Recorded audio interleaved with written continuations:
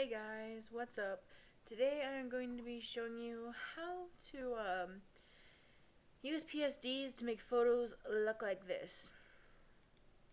Um,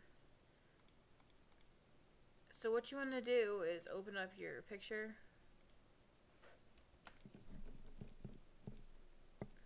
Which I have this one. I just undid everything.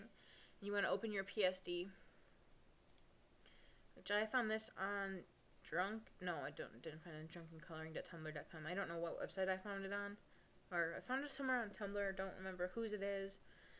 And you know, I pretty much take them and make them my own. So what you want to do is, you can usually go like this, and press Shift and click the other one and drag them to uh, the picture. Where you have to go like this to, to drag it. But what I do is I select the folder that's they're in and click this and drag them. And then it does that.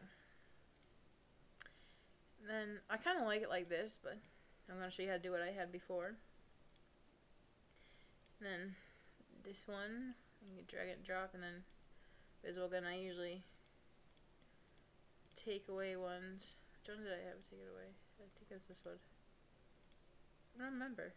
This one? Yeah, I think it was that one. Um, and then sometimes I just mess with it and drag it down here. And that, yeah, that's what I did. I dragged it down there and it makes it look different um, just mess with it and I like to go into the this one and change some of the stuff like the hue and saturation just mess with it change it.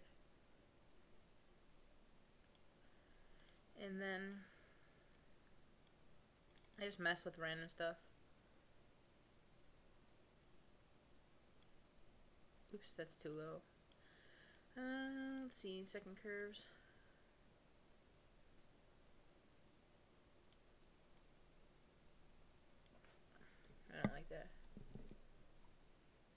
go back to normal. Um,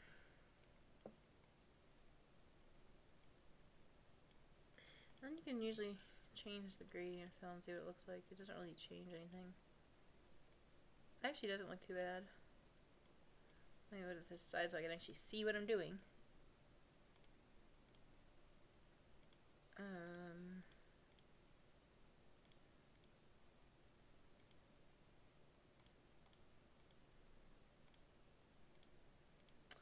Don't know. You just play around with them and use what you want. I'm just going to leave it the way it was. And then you take your, uh, well, you actually go right click your image, flatten image, and then put your little stamp on it, and you save it. And that's pretty much it. So, thanks for watching. You can request more Tumblr tutorials if you want to. Um, just post them in the comments below, and I'll do what you want and everything. So yeah, thanks for watching.